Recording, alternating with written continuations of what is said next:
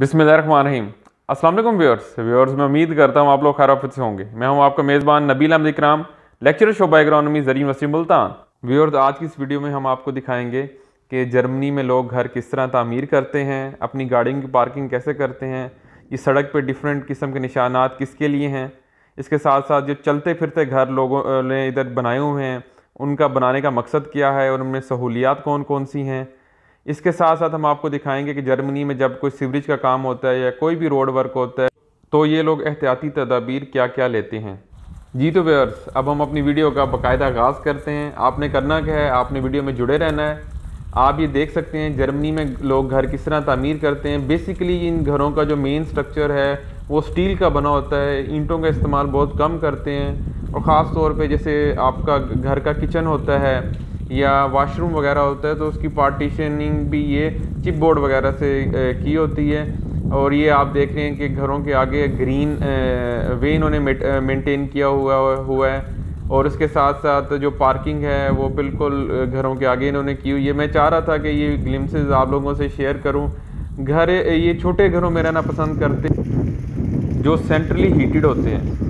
तो इस heating charges बहुत ज़्यादा कम गवर्नमेंट लेती है। पूरे साल के जो हीटिंग चार्जेस होते हैं, वो तीस पैंतीस यूरो तक होते हैं। तो व्यूअर्स अभी मैं आपको लेके चलता हूँ कि ये इन, ये लोग चलते फिरते घर कैसे बनाते हैं? ये एक चलता फिरता घर आप देख रहे हैं। क्योंकि यूरोप यूरोपियन कंट्रीज़ में वीज़ा फ्री इंट्री होती है। तो इन लोगों ने अक्सर इस तरह के चलते फिरते अपने घर बनाए होते हैं। इसके अंदर किचन की फैसिलिटी होती है लिविंग रूम होता है।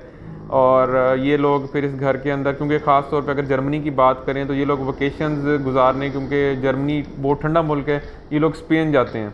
तो ये अपने ई टेबल्स अपने बिस्तर शिस्तर इसके अंदर रखते हैं और पूरी फैमिली फिर एक एक मुल्क से दूसरे मुल्क मूव करती है। जहाँ मैं रह रहा हूँ, इसके बिल्कुल बॉर्डर पे डेनमार्क है लोग डेनमार्क भी यहाँ से जाते हैं। तो व्यूअर्स अब मैं आपको दिखाता हूँ कि यहाँ शहर के अंदर जब कोई मेंटेनेंस वर्क होता है रोड साइड के ऊपर तो ये आप सामने बोर्ड देख रहे हैं, इस तरह का बोर्ड लग जाता है।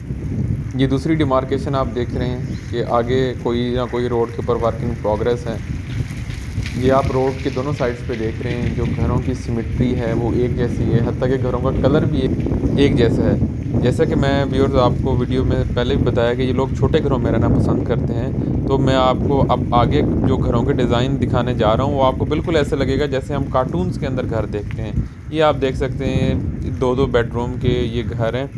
ये आप रोड की दोनों साइड पे अभी आप राइट साइड पे देख सकते हैं। ये अब लेफ़्ट साइड पे मैं आपको दिखा रहा हूँ कि छोटे छोटे घर हैं, आगे लोगों ने अपनी गाड़ियाँ पार्क की हुई हैं। अब ये जो प्लेस है, ये जो मैंने आपको वीडियो के स्टार्ट में बताया था कि जब यहाँ रोड वर्क हो, तब यहाँ सीवरेज की लाइन डल रही है।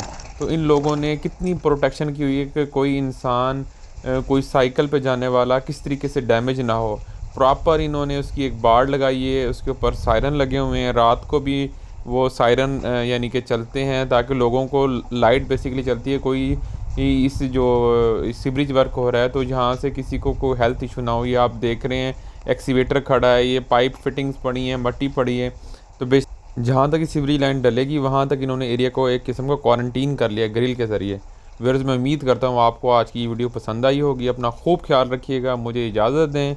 मेरी तरफ़ से आप सबको अल्लाह हाफ़